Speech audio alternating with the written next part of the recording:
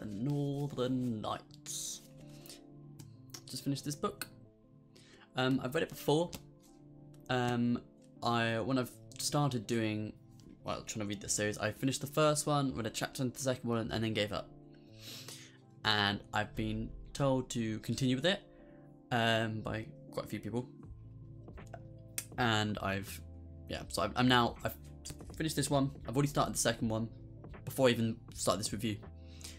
Because I just wanted to make sure I got to that point I'd given up at.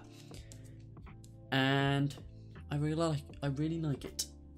Okay, so if you're new to the channel, make sure to subscribe and leave a like if you enjoyed this video. But the main thing is the way I review books. Um, what I'll normally do is give a general overview of the whole like thing, how I liked it, and that kind of stuff. And then I'll take five chapters, I'll break them down, um, and kind of give you uh, what's what and what I like about it. Mostly I'll talk about the narrative because that's kind of what grips me in a story, as well as pacing and a few dialogue, dialogue stuff. Um, and yeah, and then I'll give a final conclusion and I will give it a rating out of 100.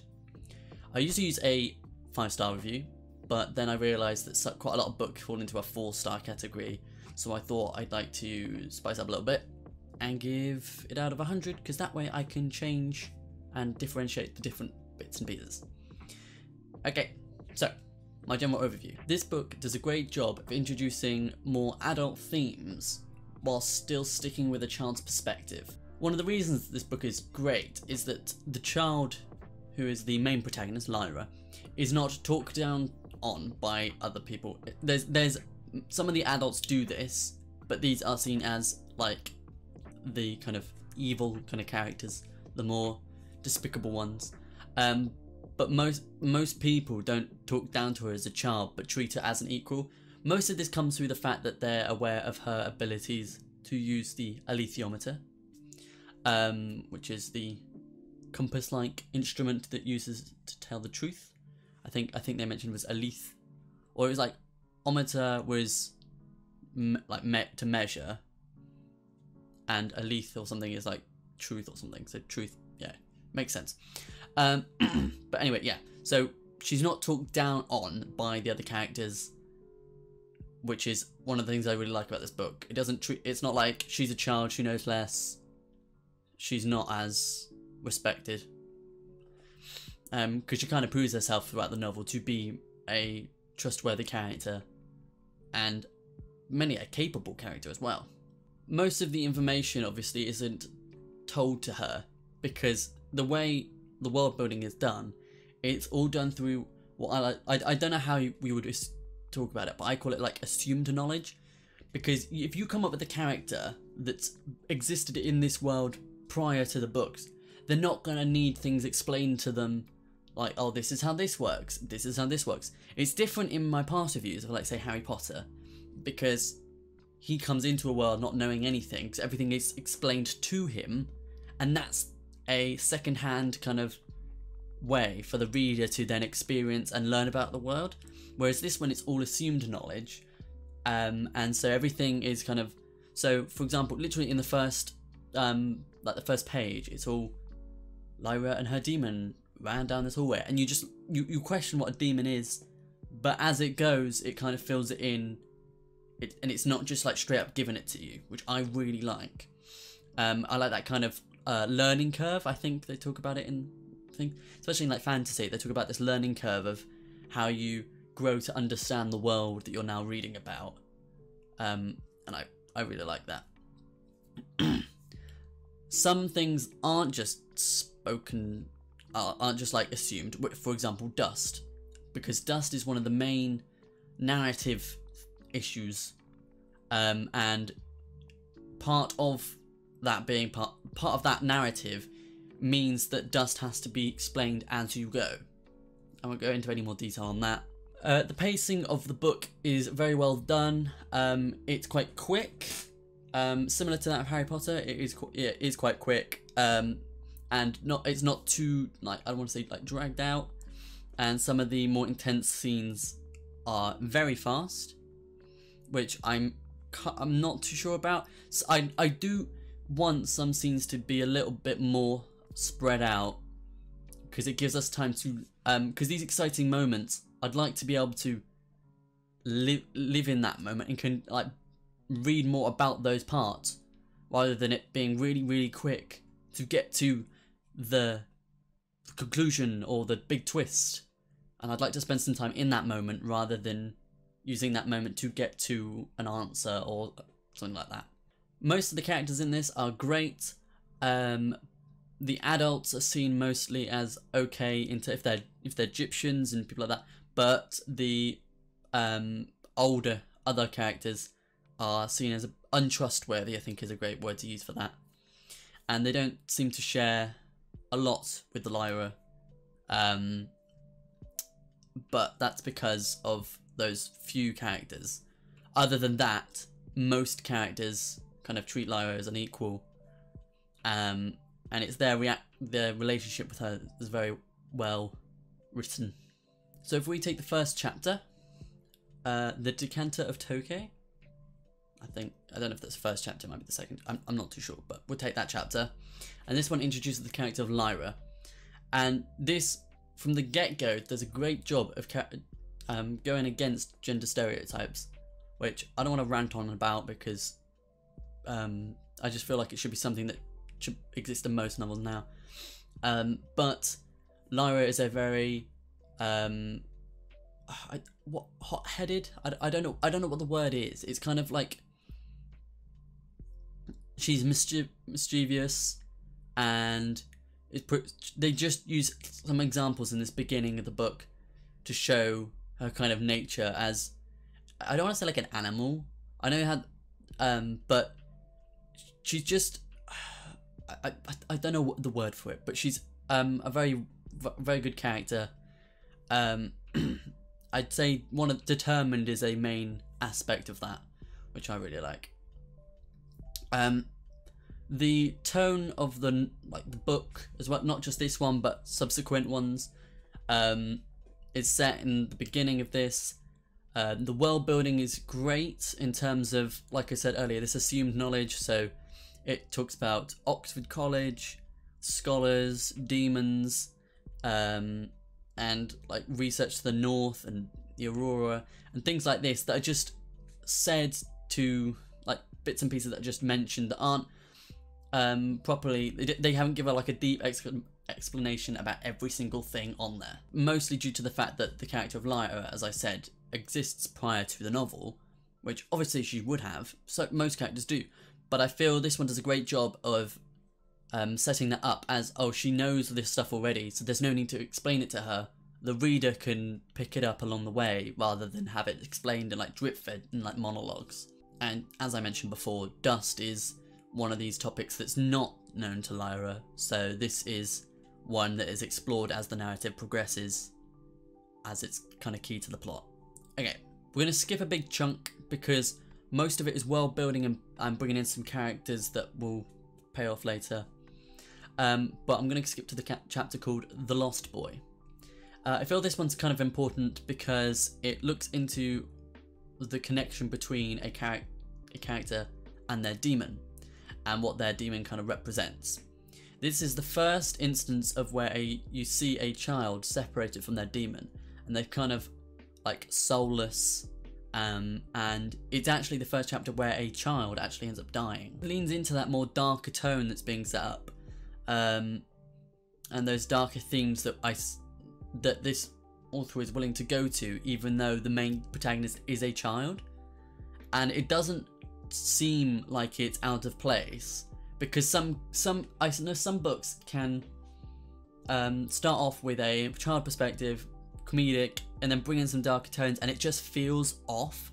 It just feels very like separated and disjunct from the whole thing. But this one does it quite well, and it kind of hits the character of Lyra very hard. Um, and yeah, I felt this chapter was very like not not really sad, but it's sad in terms of see Lyra's reaction to this. And if we skip a little bit, we're going to go over to the chapter called The Silver Guillotine. Um, this, um, device in question um, shows how uh, Mrs. Coulter, Miss Coulter, she's created this machine that separates the daemon from the child.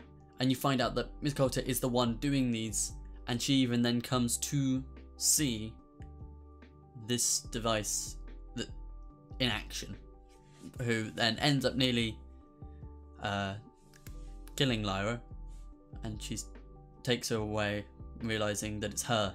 It delves into that darker themes that was in the previous chapter we were talking about was the whole like loss of a soul and what the daemon kind of represents.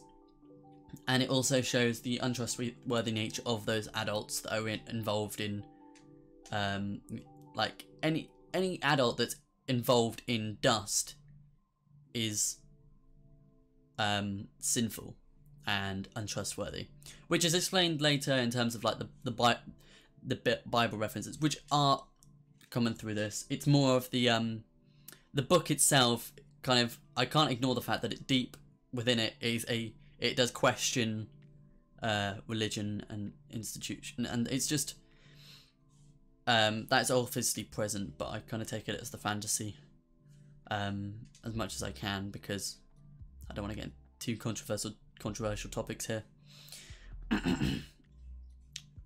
um, but yeah, like I said, shows that untrustworthy nature of adults in this whole kind of experiment with dust. Okay, the next chapter we're going to look at, I am not going to be able to say. It's I Outrance. Uh, I don't know the. I I could probably say it better if I looked it up. Ah, uh, but I'd take it me ages, so I'm gonna just say it like that. but this is the chapter where um, Iorek Byrnison arrives and challenges Yolfa Arkinson. I think that's how you pronounce it. Um, to a fight. Um, the fight scene is very well written. I really enjoyed it. Um, and one of my major things I liked about it because I didn't want, I didn't want there was a certain thing that I didn't want to happen, and that was to for Lyra to interfere in this fight because that would undermine the character of um, Iorek. Um, and so the fact that she, the alethiometer itself tells it to trust him. And so she's there, she doesn't interfere, she sees that he might be losing, but is trusting in him to then win, which he obviously does. Um, but I've just felt that the fact that she didn't interfere kind of um, builds upon Iorek's abilities, as well as just like making him seem a tougher character and living up to that kind of protector mantle he's been given throughout the book. The next chapter and final we're gonna one we're gonna look at is the Bridge to the Stars. This is the last chapter, but I'm gonna talk about a little bit at the end. Um, it all kind of merges together, and this chapter shows the death of a friendly character, Roger, um, and also he kind of signifies the main protagonist, Lyra's goal throughout the book. It was to save Roger, as well as the other children, but Roger was the main plot point. And the fact that she unknowingly betrays him by bringing him to her father, I thought that was very well, very well done. Um, within those final few chapters before, it was kind of questioning whether it was the alethiometer, but she was just like, of course it is. What else is there? Not realizing what was going on. Um, but the fact that the her goal of saving Roger, which was what the book was about, um, obviously save Lord Asriel as well, but Lord Asriel was fine. Um, but to save um, Roger was the main kind of thing, and the fact that she's then unsuccessful in that because Roger ends up dying, and Asriel creates the bridge through to the other world, um, and it just the fact that that happens means that there is nothing really tying her back to the world that she's in at that point because obviously her parents are like not very good characters, not very good people. And the only person she's really got is Lee Scoresby, who's kind of like he was there. He's he's he got a decent relationship with her, but he obviously is far away. and um, you've got Iorek, who is obviously her protector, but in terms of fru- true like friendship, there's no one really left. So the kind of decision at the end there to go through to the other world and find the source of dust and protect it, due to her experiences with her parents, um, is kind of more justified because of that. Okay, so my final analysis. Anal- okay, so my final analysis. This book is a great intro to the series, and it manages to cover many different themes in a very successful way without like losing its kind of um without I don't know without losing kind of not tension but it's its general feel. It doesn't it doesn't feel disjointed at different any part. It, it's very well done. It's consistent I think is the word I'm trying to look for there uh, the characters are very well written I really like Lyra and Iorek they're very I really like them um, some of the Egyptians are very nice um, just just the way they're written. They people seem genuine in this. Like I obviously not the adults that are concerned with dust. Obviously, like I said earlier, most of them are considered sinful, and that's explained through like the Bible stuff. But um, most of the other characters seem genuine, and their motives and kind of desires are very clear and and just understandable. Um, I like the fact how the world building itself is done through that kind of what I said was assumed knowledge. Um, the learning curve for this is quite. It's not ridiculously steep. It this is a child's. I'd say I don't want to say like a child's version. Makes it sound basic, but a child's version of a steeper learning curve than most other books of that kind of genre. Um, the fact that dust obviously is then not explained is part of the narrative, and that's I, I really like that, and I like how that's done. The final twist carried out extremely well. However, I do find some of just some scenes uh, between, such as maybe the fight could have gone on for a little bit longer, and also the final scenes leading up to the bridge um, could have gone on for a bit longer. Like I said before, I like more time being in the moment rather than it trying to rush through a moment to get to this conclusion that's been built up. I feel like that's a bit of an issue in some places. Um, so out of that, I'm going to give this one a score of 82 out of 100. Um, by the way, I stream over on Twitch every Monday, Wednesday, and Friday from 12 till 4. Um, if you'd like to speak to any, like to me or any others about the books or just anything in general, we've got the Discord down below, and I'll also leave a link to buy the book if you would like to. Uh, let me know in the comments what you think of the video, and I'll see you guys in the next one. Goodbye.